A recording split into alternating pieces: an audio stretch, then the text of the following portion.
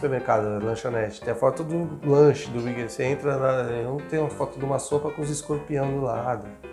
Chinês? É, oi era. Até já esqueci como é que era. Oh meu Deus. Deu branco. Mas eu tive muito problema também de metodologia.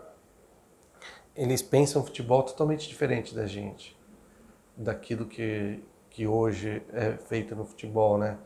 Que são os trabalhos curtos, muita intensidade, trabalho de força. Eles são trabalhos longos, é totalmente oposto, coisas antigas. Por exemplo, você faz um microciclo, você tem o dia da que você tem que recuperar a jogadora, folga, né, descanso. Para eles não tem que ter descanso. Imagina, o cara dá 90 minutos de coletivo num dia antes do jogo. Mas para fazer currículo, para experiência internacional, para é, financeira. Mas, puta, meu, solidão do caramba. É a mesma coisa que uma prisão domiciliar. As coisas malucas. Aí não bateu. Porque eu falei, pô, eles estão me levando lá para aprender uma metodologia nova e tal.